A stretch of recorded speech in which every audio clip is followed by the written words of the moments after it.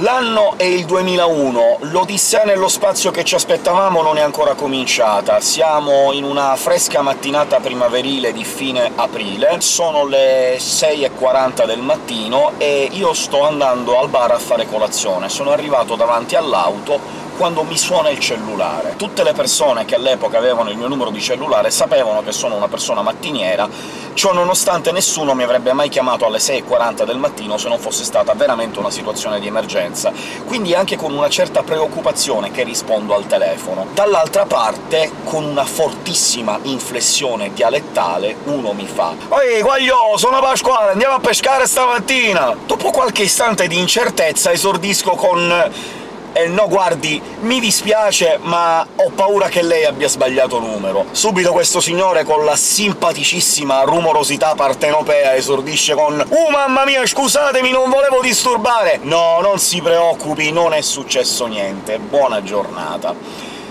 Ora, non posso dire con certezza che questo piccolo e particolare aneddoto abbia a che fare con l'avventura che vi sto per raccontare. Purtuttavia, considerando l'orario il periodo, circa un paio di settimane prima di quello che sta per succedere, e il territorio coinvolto, Beh, diciamo che la possiamo considerare una gustosissima coincidenza. Benvenuti a bordo, viaggiatori! Io sono Grizzly, e in questa puntata di Diario di Viaggio on the road vi racconterò di quella volta in cui mi clonarono la SIM del cellulare. Cominciamo! Sigla!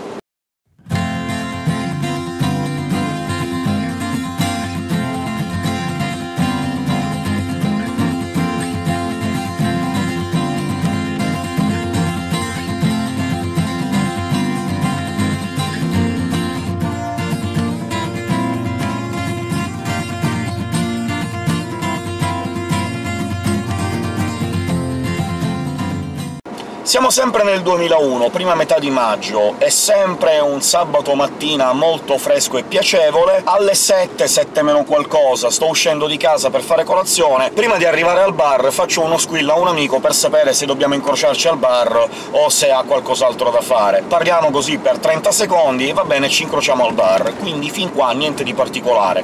Ci incrociamo al bar, facciamo colazione, poi ognuno di noi comincia la sua giornata lavorativa, e facciamo un salto temporale intorno alle 9 e mezzo del mattino mattino, quando sono nel laboratorio, nel negozio di informatica in cui lavoravo nel 2001, quando all'improvviso mi arriva un sms. Nel 2001 non c'erano moltissimi sms, quindi quando ti arrivava un sms andavi subito a vedere cos'era successo. L'sms arriva da Omnitel ed è molto laconico. Gentile cliente, stiamo per disattivare la sua SIM, la preghiamo di rivolgersi urgentemente a un negozio spazio Omnitel e basta, solo questo. Cominciano una serie di paranoie, comincio a ripensare al conto telefonico che ho pagato intorno alla metà di aprile, quindi dovrebbe essere a posto la bolletta, ma al di là di quello, se mancasse il pagamento di una bolletta mi direbbero «Gentile cliente, manca il pagamento della bolletta XYZ, la preghiamo di provvedere». Difficilmente mi arriva così tra capo e collo un «stiamo per disattivare la sua SIM». Comincio a pensare che cosa può essere successo, mi chiedo che cosa fare, passa nel frattempo una mezz'oretta nella quale sto finendo i computer che ci sono sul banco, attacco e il cellulare improvvisamente muore. Da iOmnitel quello che mi compare è bloccato o negato, insomma un messaggio di errore. Se spengo e riaccendo il cellulare per qualche istante mi compare iOmnitel e poi subito dopo negato. E non capisco che cosa sta succedendo, è una cosa allucinante. Quindi, visto che per fortuna a poche centinaia di metri dal negozio c'è un negozio spazio Omnitel, eh, vabbè, prendo un permesso e vado un attimo a vedere cosa è successo. Ed ecco quindi che comincia la mia personalissima odissea nello spazio spazio Omnitel. Arrivo in negozio, sono circa le 10 del mattino, spiego al negoziante cosa è successo, gli faccio vedere il messaggio, gli faccio vedere che il telefono non si registra più sulla rete, gli dico «guardi, sono anche un abbonato, ho la bolletta, quindi non so che cosa pensare». E anche il negoziante è piuttosto stupito perché non ha mai visto una situazione del genere. Comunque il negoziante mi presta il suo cellulare Omnitel, parlo con il 190, ma l'operatrice che mi risponde molto gentilmente mi dice «guardi, non posso darle nessun aiuto perché quando inserisco i suoi dati sul terminale mi appare una nota nota che non mi permette di vedere la pratica e mi dice semplicemente di contattare urgentemente l'amministrazione attraverso il negozio. Quindi eh, se lei è in negozio, chieda al negoziante di fare il numero breve che serve per contattare l'amministrazione, perché evidentemente c'è qualche cosa che bisogna fare con l'amministrazione di Omnitel. Sono completamente in paranoia, non so che cosa pensare, anche il negoziante appare molto stupito, comunque fa questo numero breve, parla velocemente con eh, l'assistenza amministrativa, dà i suoi codici identificativi, fornisce alcuni dei miei dati, poi resta in silenzio ad ascoltare cosa gli dicono dall'altra parte per alcuni secondi, e comincia ad impallidire vistosamente. Io ormai sono in un misto tra il mettermi a piangere, seppellirmi, scappare a gambe levate, e quando il negoziante dice solo «sì, è qui, glielo passo» e mi porge il telefono come se fosse diventato, non so, incandescente. Prendo il telefono come se fosse incandescente, pronto! Buongiorno signor Grizzly, sono Asdrubal di Omnitel, le volevo comunicare che abbiamo dovuto sospendere urgentemente la sua SIM perché abbiamo rilevato che è stata clonata. Seguono almeno 5 secondi di completo silenzio, nei quali probabilmente ho assunto lo stesso colore del negoziante, Cosa? Praticamente questa mattina, intorno alle 7, le 7 meno qualcosa, il sistema ha riscontrato che la SIM registrata a Siracusa ha effettuato una chiamata verso un cellulare team di Siracusa, e io sono lì che gli faccio «Sì, sono io che ho chiamato un amico che...» e contemporaneamente, però, era in corso da un paio di minuti una telefonata dalla SIM registrata a Napoli verso un cellulare Omnitel di Caserta. Altri 5 secondi di silenzio, durante i quali l'intero pianeta Terra mi crolla addosso. L'operatore continua quindi abbiamo effettuato delle verifiche incrociate, abbiamo riscontrato che la sua SIM risulta essersi registrata nelle ultime due settimane diverse volte nel territorio di Napoli. Questa registrazione avveniva tra le 5 e le 7 del mattino. Si accendeva la SIM, faceva una o due telefonate la mattina presto, poi si spegneva, magari si spegneva alle 7, però alle 7 e 2 minuti, o in realtà anche poco prima delle 7, si accendeva questa SIM a Siracusa.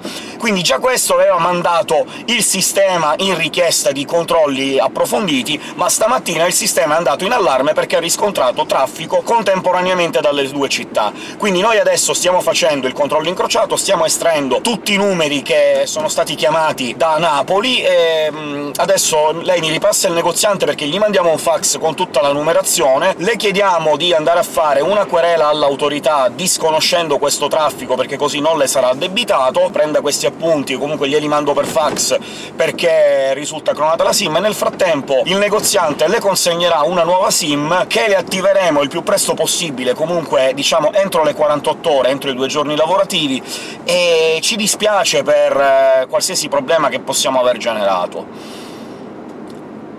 Ragazzi, ho preso le pive, le ho messe nel sacco, ero completamente, come si suol dire, preso dalle bombe, non sapevo più che cosa dire, che cosa fare, credo di essermi espresso per monosillabi per buona parte della giornata. Mi hanno consegnato la SIM, è arrivato questo fax, abbiamo buttato giù due righe con il negoziante, abbiamo rimandato il fax, poi mi sono preso tutta la documentazione e sono tornato in negozio, era sabato mattina, quindi non potevo andare a fare una querela all'autorità, sono andato poi in questura il lunedì mattina. Nel frattempo mi sono preso tutti i vecchi numeri che c'erano sulla vecchia SIM, me li sono copiati a mano, mi sono passato la nuova SIM, e bontà di Omnitel, questo lo devo ammettere, mi hanno detto che mi avrebbero attivato la SIM entro 48 ore, a mezzogiorno la SIM sostitutiva era di nuovo attiva, quindi tanto di cappello Omnitel, questo lo riconosco.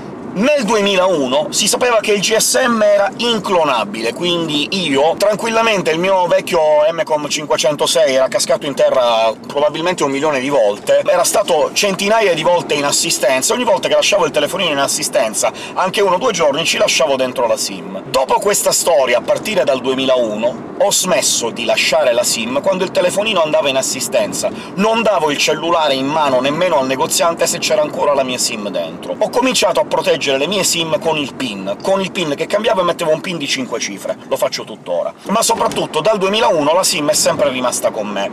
Adesso le nuove SIM sono molto più difficili da clonare, è molto più difficile questo discorso, nel 2001 sicuramente era più facile, per quanto dopo questo fatto ci fosse stata ancora gente che mi diceva «No, Grizzly, non è così, il GSM non si può clonare» taci, mentecatto!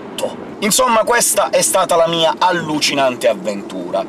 Ci sono altre avventure sulla telefonia che vi vorrei raccontare, per il momento vi chiedo, voi che cosa mi raccontate? È successo a voi o a qualcuno dei vostri parenti, familiari o amici di avere la SIM di telefonia clonata? Oppure è successo qualcosa di molto particolare, di molto raro, di molto strano legato alla telefonia mobile? Parliamone nei commenti qua sotto, oppure su Twitter con l'hashtag di DVOTR. Bene ragazzi, se la mia avventura è riuscita a mettervi in guardia dal fare attenzione alle vostre SIM vi ha convinto a tenere la SIM protetta con il PIN, vi invito a mettere pollice in alto e condividere questo vlog con i vostri amici, anche su WhatsApp o Telegram. Vi ricordo, se non l'avete già fatto, di iscrivervi al mio canale YouTube, è gratuito e assumerete subito quel buon profumo di nuovo iscritto che ci piace così tanto. E pensate un po', nonostante tutti quelli che si iscrivono assumano questo buon profumo di nuovo iscritto, per ognuno è diverso, non è che viene clonato il profumo. Inoltre, se seguite il mio canale Telegram, lo trovate linkato sul doobly-doo e sulla scheda, riuscirete anche a ricevere una notifica ogni volta che pubblico un nuovo video e ricevere occasionalmente piccole curiosità e dietro le quinte sui video che devo realizzare. Infine, se c'è un argomento che vi piacerebbe io trattassi in Diario di Viaggio on the road, potete farmi sapere anche quello in un commento qua sotto. Io sono Grizzly, anche per oggi questo è tutto, per cui come sempre grazie, ciao a tutti e ci vediamo alla prossima!